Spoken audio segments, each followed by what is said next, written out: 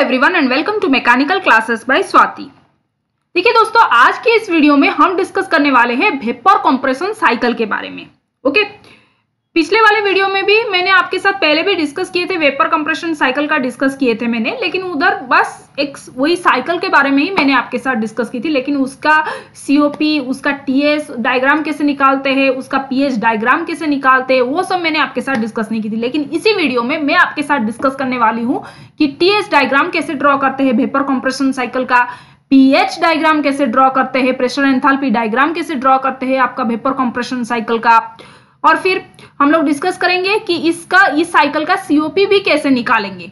Okay okay, तो video को end तक ज़रूर देखिए दोस्तों क्योंकि वीडियो बहुत ही इंपॉर्टेंट है और ये जो सीओपी कैसे कैलकुलेट करते हैं सीओपी का फॉर्मूला के बेसिस पर बहुत सारे न्यूमेरिकल्स पूछे जाते हैं सेमिस्टर एग्ज़ाम में भी पूछे जाते हैं और फिर एंट्रेंस एग्ज़ाम में भी पूछे जाते हैं। तो वीडियो को प्लीज़ आप एंड तक ज़रूर देखिए दोस्तों वीडियो को स्किप मत कीजिए और आपको वीडियो अच्छी लगी तो लाइक ज़रूर कर दीजिए और मेरे चैनल को सब्सक्राइब करिए ताकि जो भी मैं वीडियोज़ बनाऊँगी मैकेनिकल इंजीनियरिंग के रिलेटेड वो वीडियोज़ आप तक पहुँच सके।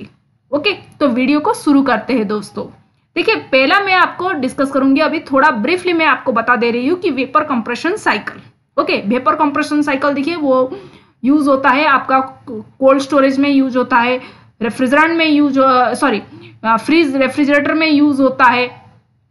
और फिर आपका एसी जो वर्क करता है, इसी साइकिल पे ही वर्क करता है।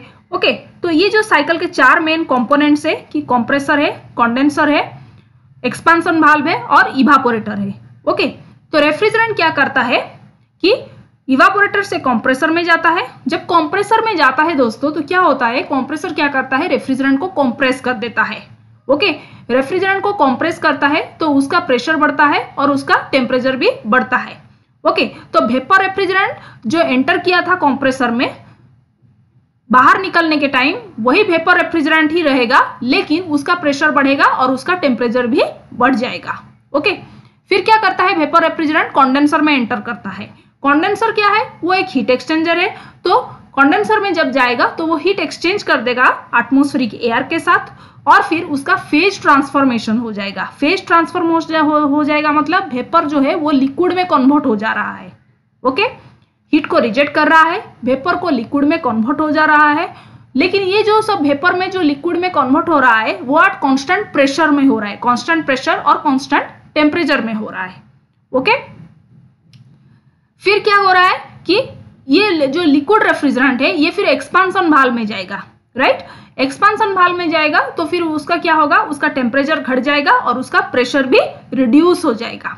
ओके लेकिन जब at the point number four that is expansion valve से जब जस्ट जब बाहर निकलेगा तो फिर वो जो रेफ्रिजरेंट होगा ना, ये जो रेफ्रिजरेंट उसमें कुछ अमाउंट ऑफ़ लिक्विड रेफ्रिजरेंट रहेगा और कुछ अमाउंट ऑफ़ वेपर रेफ्रिजरेंट रहेगा ओके कुछ अमाउंट ऑफ़ लिक्विड रहेगा और कुछ अमाउंट ऑफ़ वेपर रहेगा। मतलब ये पूरा लिक्विड नहीं है कि पूरा वेपर नहीं है।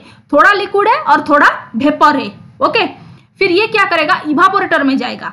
इवापोरेटर में क्या करेंगे? हीट को रिजेक्ट सॉरी हीट को एब्जॉर्व किया जाता है। Okay okay? हीट को एब्जॉर्व किया जाता है। हीट कहाँ से एब्जॉर्व करेगा? From the food products it will absorb the heat okay तो हीट को एब्जॉर्व करेगा। Okay okay? हीट को जब खींचेगा तो फिर उसका जो फ़ेज़ धीरे धीरे ट्रांसफॉर्मेशन होगा। दैट इज़ पूरा जो लिक्विड प्लस वेपर था, वो धीरे धीरे करके पूरा वेपर में कन्वर्ट हो जाएगा। फ़ेज़ ट्रांसफॉर्मेशन तो हो रहा है, लेकिन at constant temperature and at constant pressure okay फिर कंप्रेसर में जाएगा तो धीरे धीरे ये जो साइकिल है, वो कंटिन्यूसली चलती रहेगी और हमें कूलिंग मिलती है। Okay okay? तो ये है जो brief description of the vapour compression cycle का। Okay okay? तो अब मैं डिस्कस करूँगी टीएस डायग्राम ओके चलिए डिस्कस करते हैं इसका टीएस डायग्राम ओके देखिए थोड़ा और अच्छे से मैं आपके साथ डिस्कस कर रही हूँ ओके देखिए फिर से।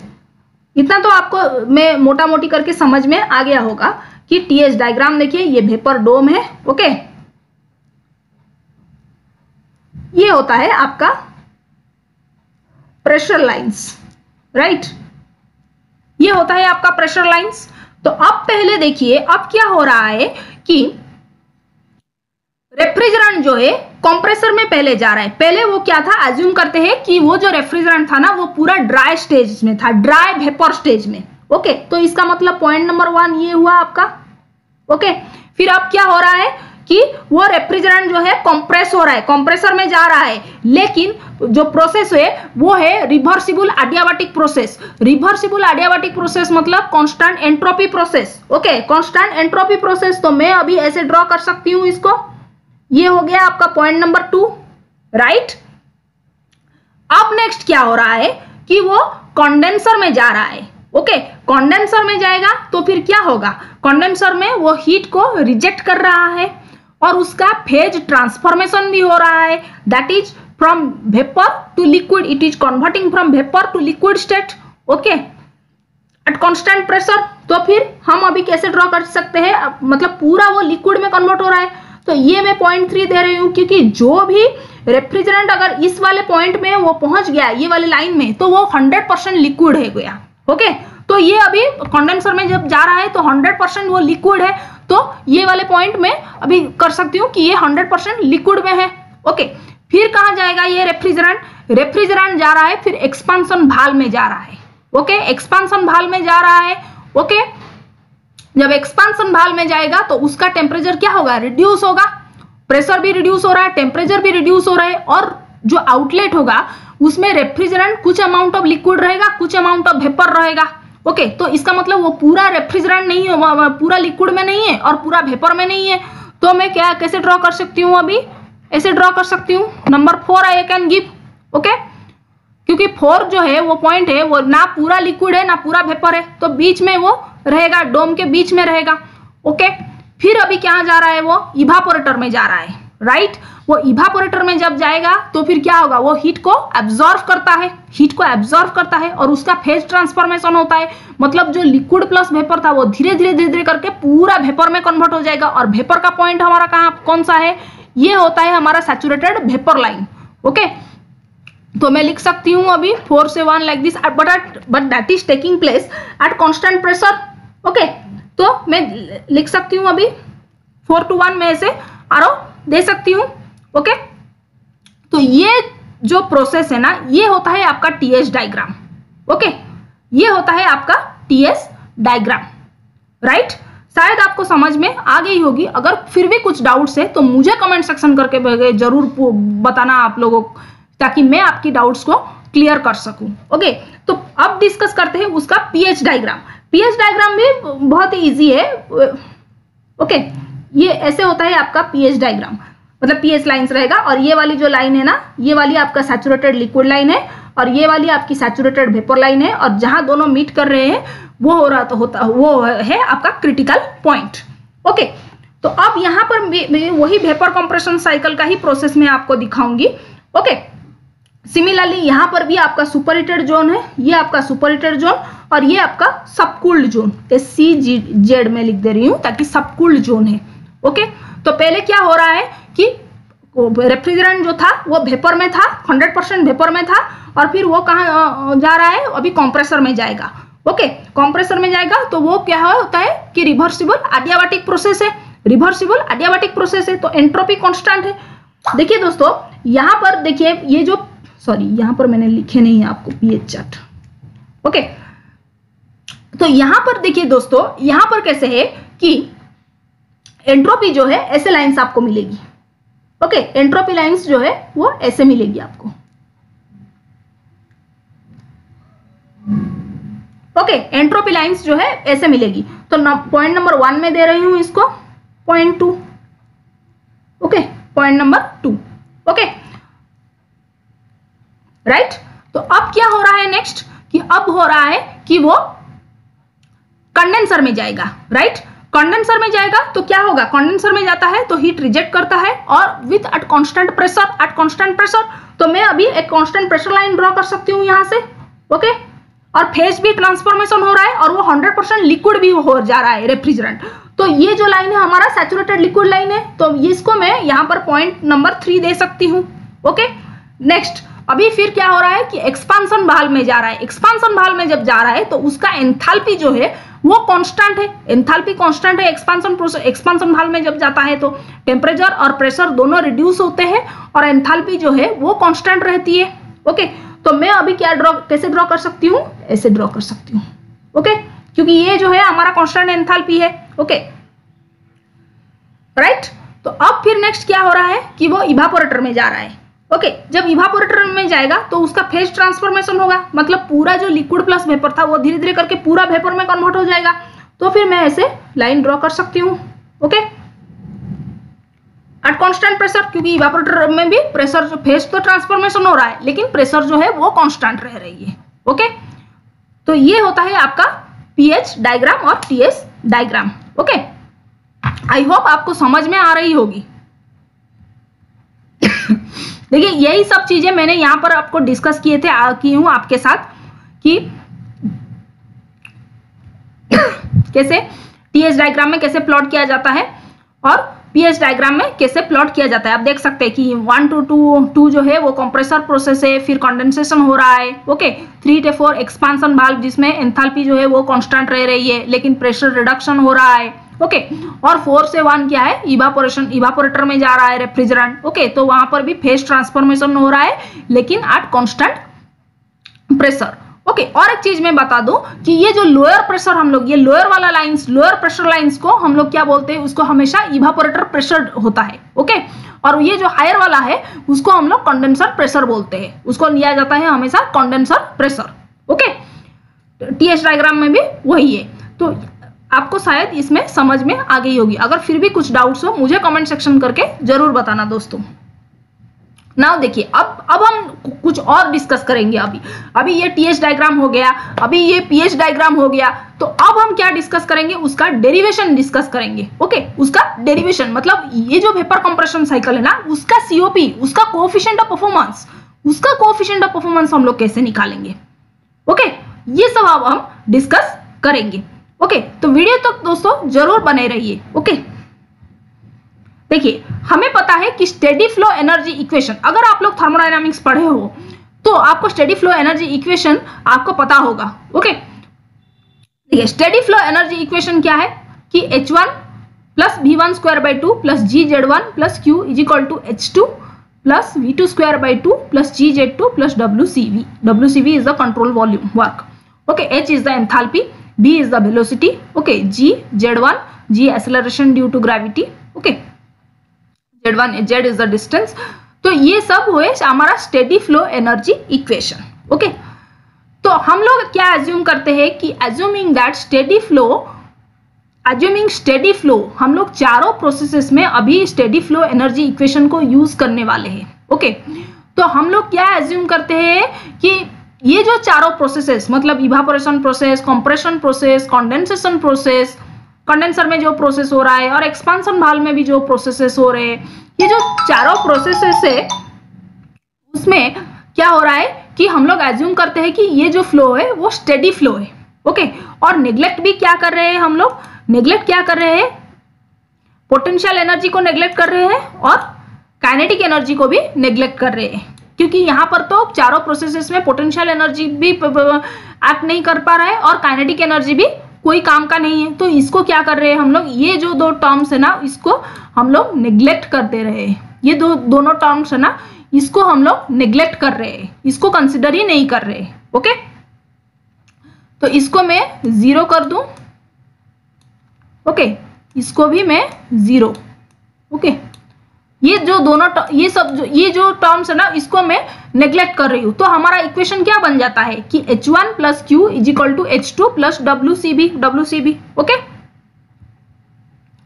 right ये हमारा इक्वेशन बन जाता है। तो अब हम क्या डिस्कस करते हैं कि कॉम्प्रेशन पहले डिस्कस करते हैं कि कॉम्प्रेशन प्रोसेस में क्या होता है ओके कॉम्प्रेशन प्रोसेस में अब हमारा कॉम्प्रेशन प्रोसेस में क्या होता है?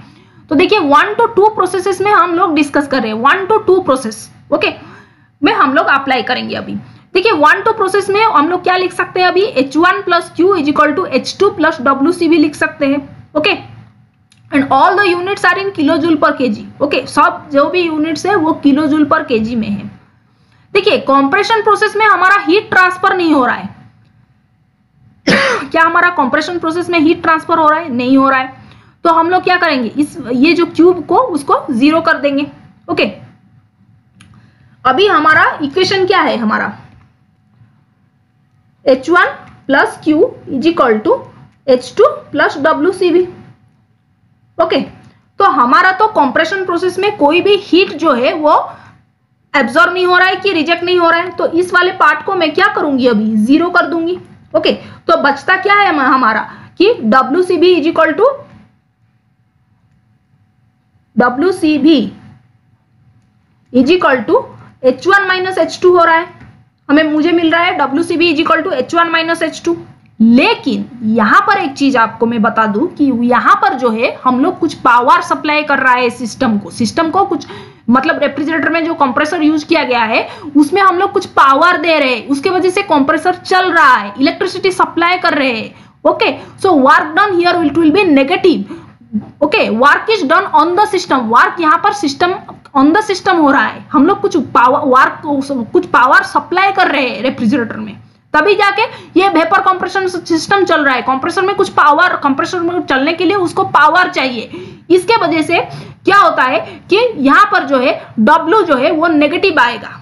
Okay W work done negative होगा। Work done is done on the system so work done is negative here so I can write W C B is equal to अगर मैं माइनस दोनों side में multiply कर लू तो W is equal to कितना आएगा मेरा? H two minus H one आएगा।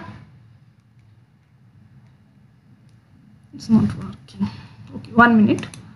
H2 minus H one okay H two minus H one आएगा। यही चीज़ मैंने लिखे है यहाँ पर। W C B is equal to H two minus H one okay I hope आपको ये डेरिवेशन समझ में आ गई होगी। और एक चीज़ मैं बता दूँ, कोई कोई कंफ्यूज हो रहा होगा, ये स्टेडी फ्लो एनर्जी इक्वेशन अचानक से कहाँ आया ये थर्मोडाइनमिक्स में है, अगर आप नहीं पढ़े तो एक्चुअली देखिए स्टेडी फ्लो एनर्जी इक्वेशन के बारे में अभी मैं डिस्कस करूँगी तो वीडियो बहुत ही लंबा हो जाएगा। तो मैंने बस आपको, बस ये इक्वेशन से ही मैं शुरू की हूँ। पूरा डिटेल्स में अगर आपको जाना है तो मुझे कमेंट सेक्शन में बोलिए कि इसके बारे में एक वीडियो बनाए तो मैं आपके लिए बना दूँगी। ओके ठीक है। चलिए, अभी नेक्स्ट जाते हैं हमारा condensation process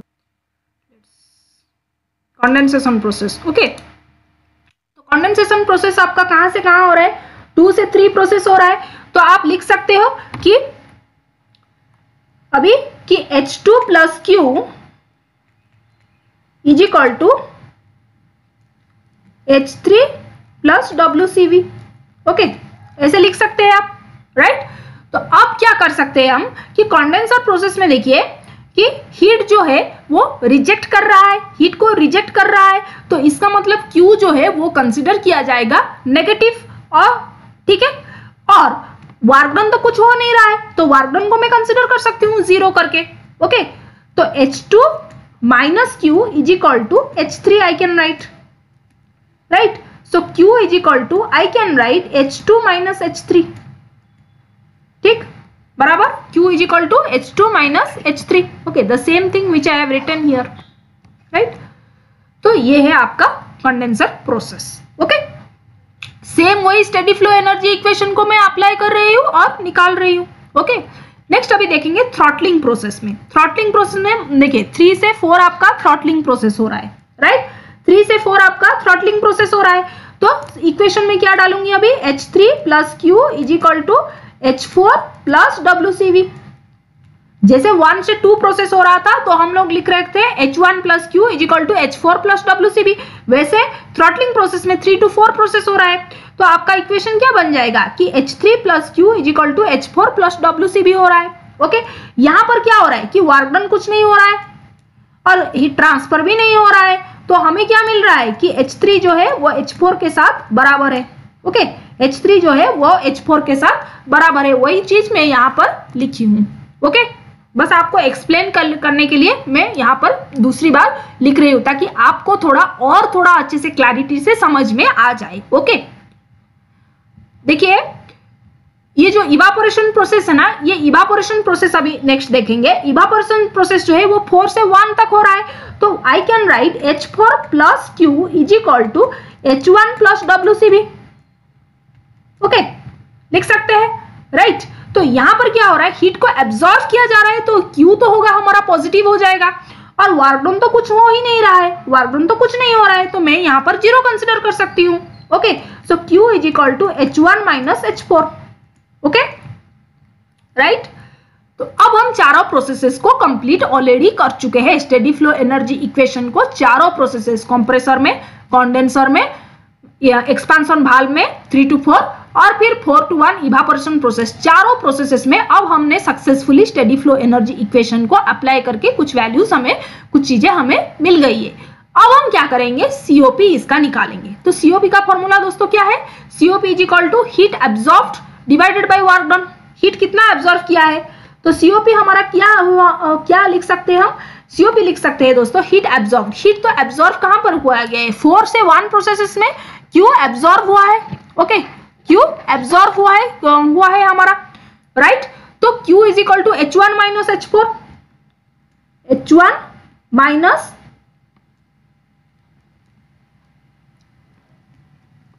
H four pen is not working. Okay. H1 minus h4 one minute. H1 just a minute okay. There is some problem.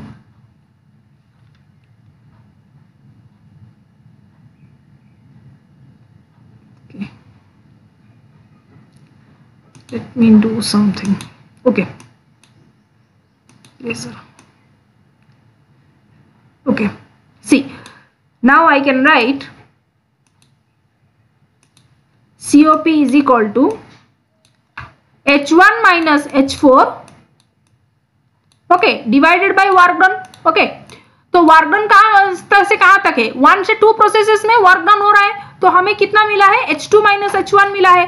तो अब अब मैं लिख सकती हूँ H two minus H one करके। लिख सकती हूँ? ओके तो ये रहा हमारा COP that is H one minus H four divided by H two minus H one okay तो आई होप आपको ये COP calculation vapour compression cycle और फिर diagrams TH diagram PH diagram ये सब आपको समझ में आ गई होगी इस वीडियो में। अगर कुछ डाउट्स हो, मुझे कमेंट सेक्शन करके ज़रूर बताना आप okay so thank you for watching my video and please subscribe my channel for more videos thank you